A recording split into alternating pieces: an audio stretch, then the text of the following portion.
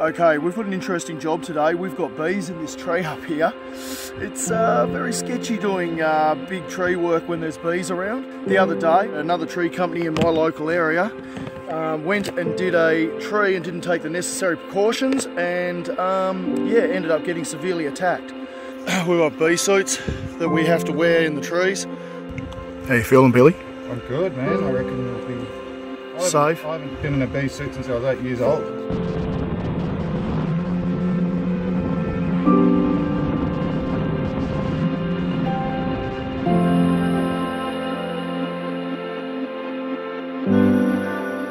Not only is Billy in training, this is his first bee tree.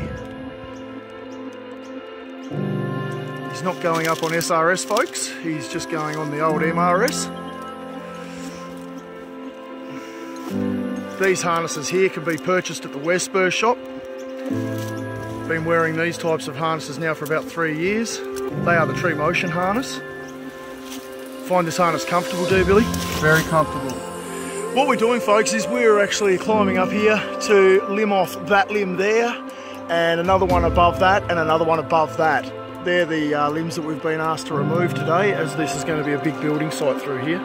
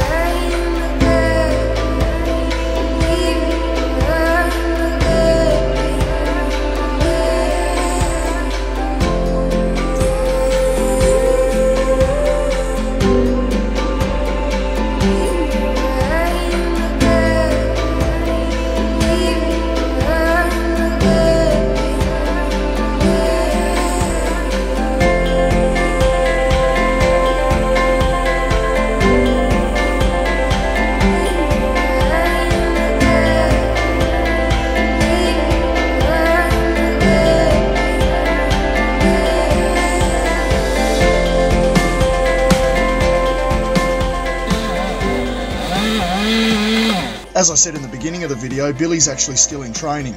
Now he's put his front cut in here, perfect. But when he went to do his back cut, he's actually gone past the hinge point of the cut. When cutting off limbs or taking the top out of a tree, never cut past this point. Which means it can grab the chainsaw, pulling the chainsaw from the climber, or worse still, pulling the climber.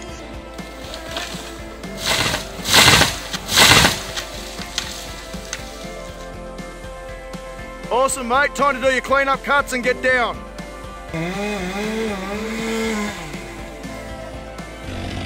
Glitter, glitter, glitter.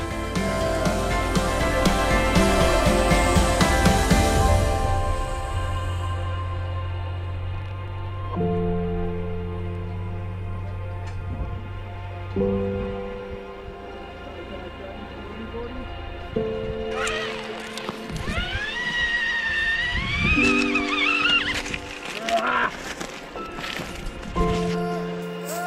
If